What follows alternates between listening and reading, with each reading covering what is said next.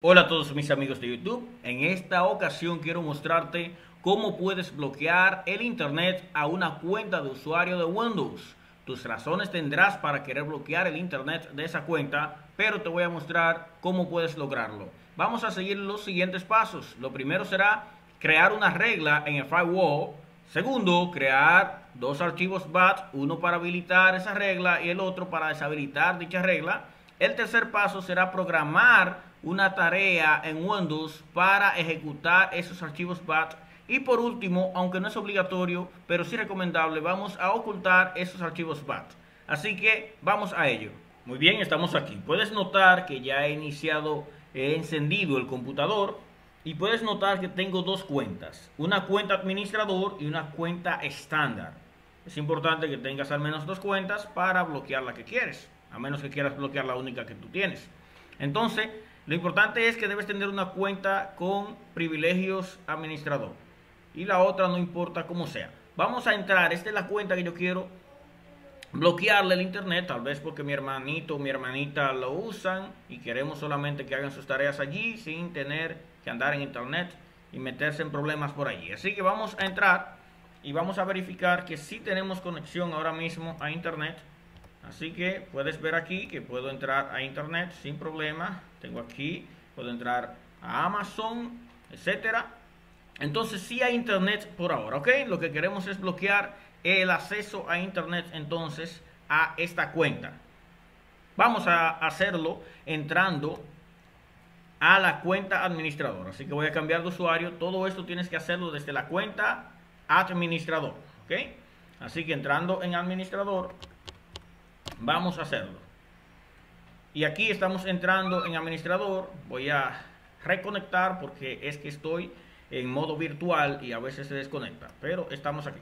Entonces, recuerda el primer, paso. El primer paso, ¿cuál era? Crear una regla en el firewall. Así que vamos a entrar en el firewall de Windows. El firewall de Windows con seguridad avanzada. Y una vez que estemos allí, necesitamos crear una regla.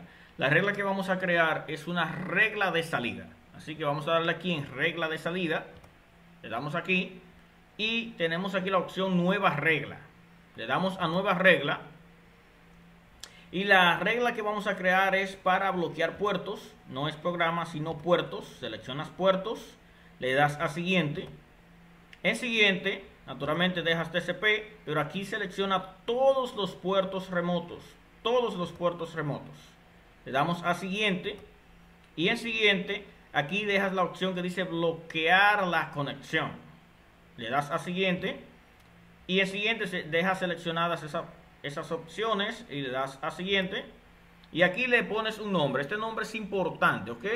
Así que recuérdalo bien el nombre que le pones porque es este nombre que usarás luego en el archivo, en los archivos BAT que haremos en el paso siguiente, ¿ok? Esto sencillamente podemos poner un comentario aquí, si queremos, no es obligatorio. Y listo, ya tenemos aquí nuestra regla, le vamos a dar a finalizar.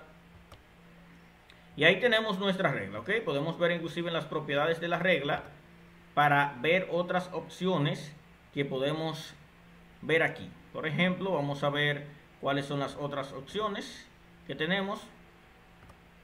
Tú ves que eh, elegimos ahorita el protocolo TCP, pero podemos aquí bloquear todos los protocolos. Le damos a cualquiera ahora y de esa manera la hemos actualizado la regla. Le damos a aplicar, le damos a aceptar y de esta manera esa regla va a bloquear todos los protocolos TCP, UDP, etcétera.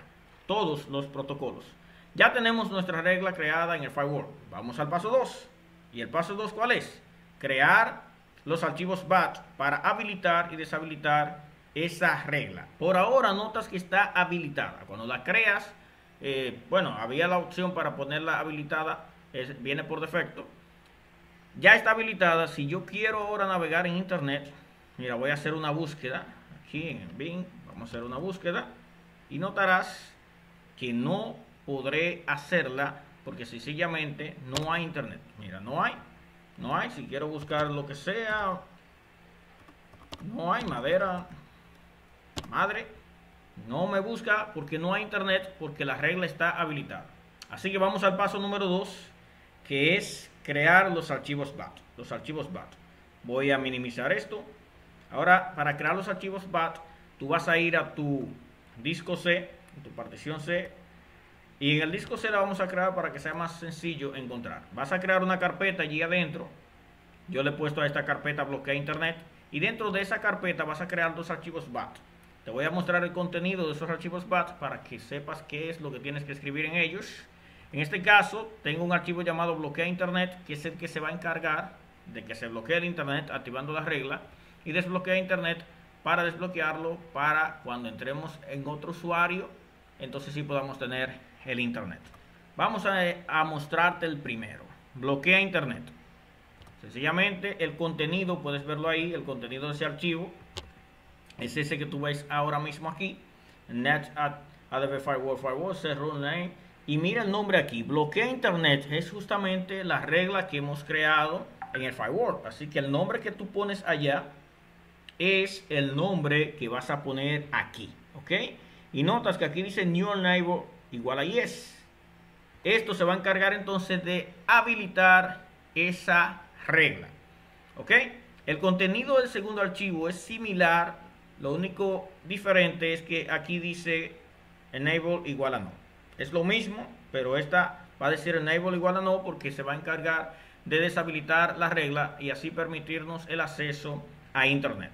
Ok, una vez que tienes esos dos archivos, archivos.bat, recuérdalo bien, archivos.bat, en tu editor de texto como el blog de notas, lo escribes, lo guardas como todos los archivos y le pones la extensión .bat a cada uno de ellos y listo.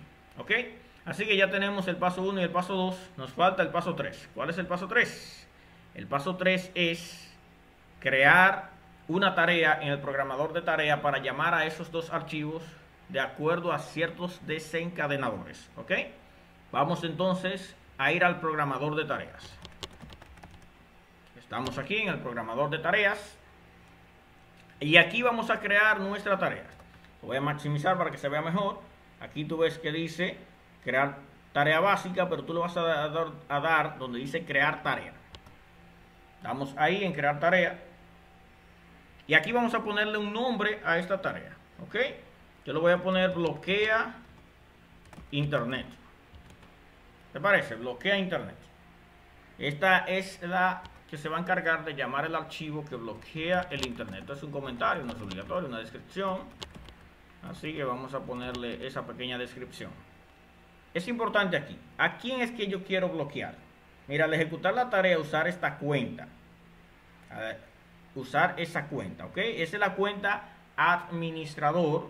Por tanto, esa es la cuenta la que debe usarse para ejecutar las tareas. Vamos a dejarlo tal cual, pero vamos a ponerle aquí ejecutar con los privilegios más altos. Ejecutar con los privilegios más altos para que se pueda eh, ejecutar sin ningún inconveniente. Vamos al siguiente paso, entonces es importante aquí que selecciones eh, para quién quieres configurarle. En mi caso lo voy a hacer para Windows 7, pero elige la opción adecuada allí. Vamos a ir a los desencadenadores. ¿Cuáles son los desencadenadores? Vamos a darle a nuevo y vamos a ver cuál es el desencadenador que nosotros vamos a utilizar para que se active esta tarea y por tanto se bloquee el internet. El desencadenador que vamos a utilizar es al iniciar la sesión. Al iniciar la sesión. Ahora, ¿cuál usuario? Cuando aquí tenemos la opción cualquiera, cualquier usuario. Pero nosotros vamos a elegir un usuario específico, justamente aquel al que queremos bloquearle el internet. En este caso, tenemos el administrador, pero no es a ese, así que vamos a darle a cambiar usuario. Y aquí vamos a buscar el usuario que tú quieres bloquearle el internet. Listo, apareció, así que le das a aceptar. Y ya que tienes aquí, puedes notar que aquí está habilitado, lo demás lo dejas desactivado y le das aceptar. Ese es un, un desencadenador, pero vamos a poner otro desencadenador, ¿ok? Vamos a darle a nuevo y ahora el otro desencadenador es al conectarse a una sesión de usuario. O sea, cuando la persona también se conecta, ¿ok?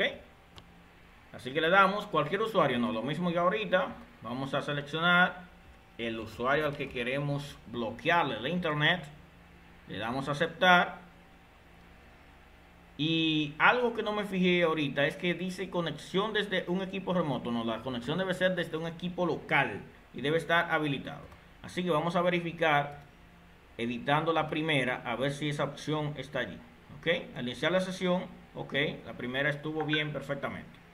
Listo, ya tenemos nuestros desencadenadores. Ahora vamos a establecer la acción que se va a llevar a cabo. ¿Y cuál es la acción?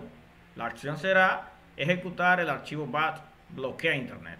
Así que le damos aquí a nueva y entonces vamos a buscar aquí en examinar el archivo bat que nosotros creamos en el disco C. En el disco C, en una carpeta que se llama bloquea internet y allí está bloquea internet.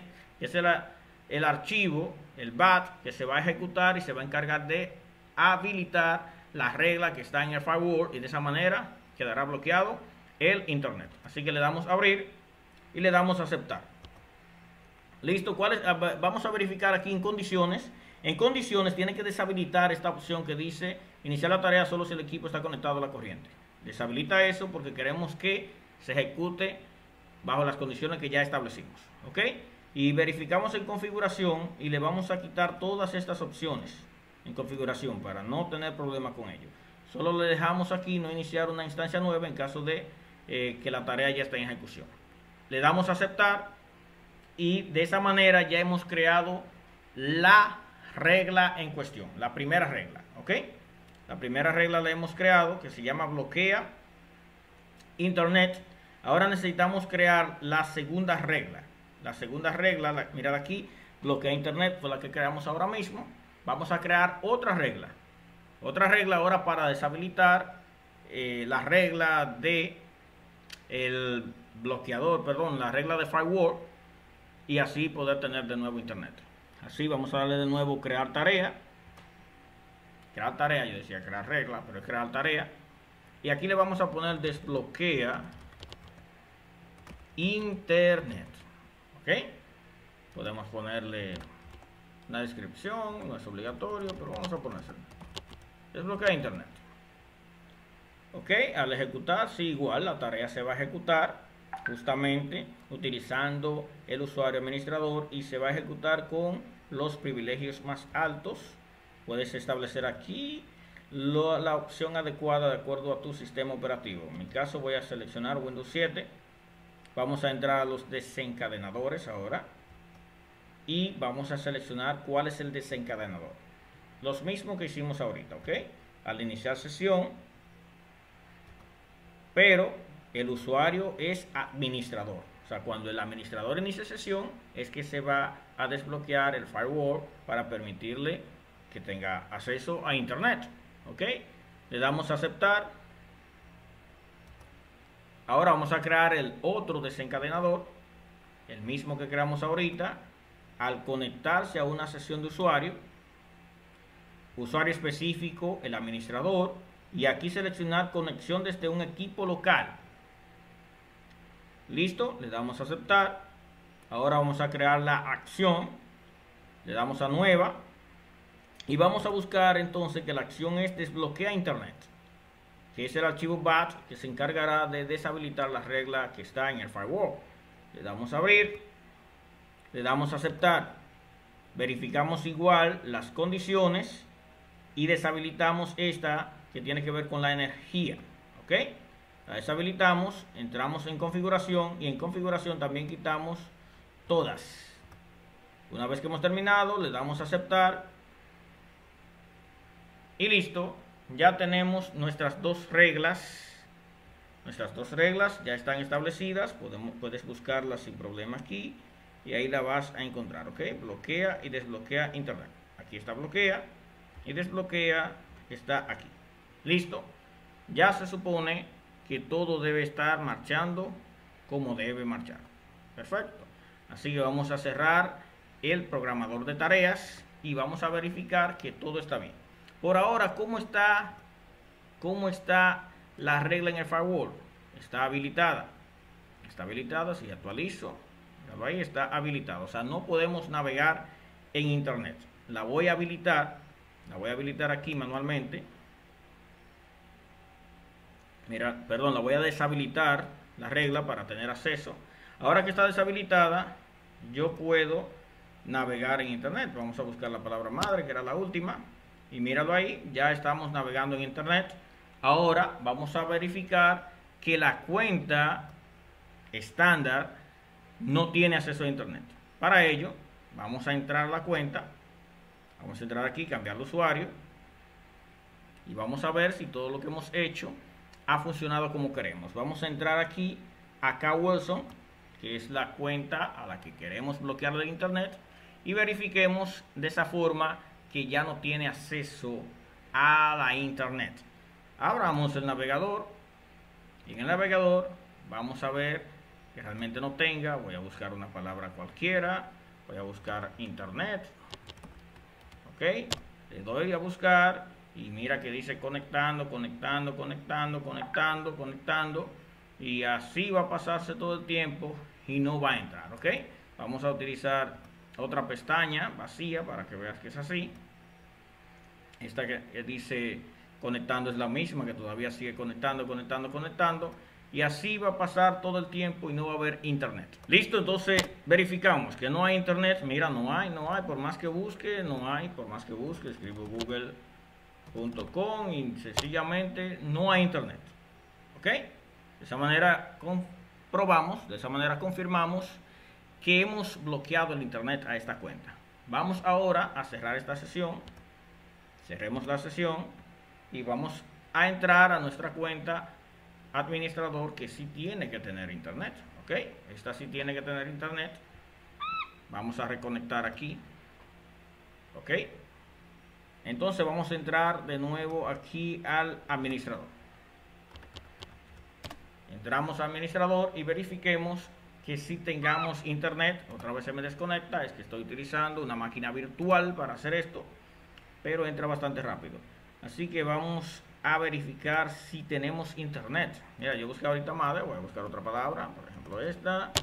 Y vamos a ver, mira que si hay, mira, puedo entrar aquí, en esta, y el internet navega sin problema. Y eso puedes confirmarlo que es así. Así que de esta manera has bloqueado el internet a la cuenta que tú quieres, manteniendo desbloqueado en aquella que sí quieres tener internet. Muy bien, entonces ya hemos hecho lo que queremos. Nos falta el cuarto paso, que aunque no es obligatorio, es recomendable, que es sencillamente ocultar esta carpeta para que no vaya alguien a borrarla por accidente o intencionalmente, ¿ok? Sabiendo que el disco C se puede acceder desde una cuenta estándar también. Así que vamos a ocultarla. Primero vamos a ponerle las propiedades que sea de solo lectura y vamos a ponerla oculta. De esa manera, esa carpeta solamente sabremos nosotros que está ahí. ¿Listo? La carpeta ya está oculta, ese es el último paso que nos faltaba y listo. Será entonces hasta la próxima. Pon en práctica esto que te he mostrado, haz lo que tú quieras con ello. Cuídate mucho, bye.